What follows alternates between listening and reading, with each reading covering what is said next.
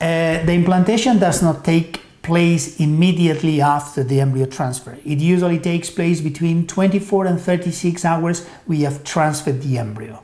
What we do is that we gently release the embryos inside of the uterine cavity and then the embryos stay around there for these 24 to 36 hours.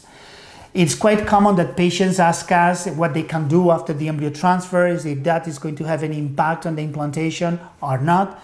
Well, uh, no, in, in, normal conditions, for example, we request our patients to come with a full bladder. We let them go to the loo after the, the transfer has finished. They can even travel on the same day. The embryos, they, they are going to remain there because the uterine cavity is a virtual cavity. So there is no risk that the embryos may fall out after the transfer, regardless of what you do. Okay, so it's a completely safe procedure and it's completely safe to start leading normal life after a couple of hours. Why do we do recommend these two hours after the embryo transfer? Because they may help to keep the uterus relaxed.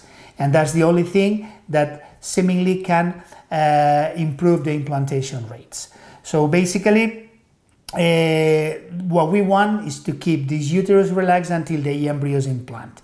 If you want to take things easy for these uh, 24 hours. That's fine. It's not going to be a problem, but it's not strictly necessary. In the end, we may think what a woman does when she is trying to get pregnant naturally. I mean, nobody spends one day at home after they have had they have had sex just because they think that is going to improve the implantation rates. They keep leading completely normal life. They even go to the gym. They may have a glass of wine and things like that. And if the embryo implants, is going to implant anyway. So don't get too stressed about what you can do after the embryo transfer, and especially in these first 24 hours that you need uh, that are going to pass before the embryo implants.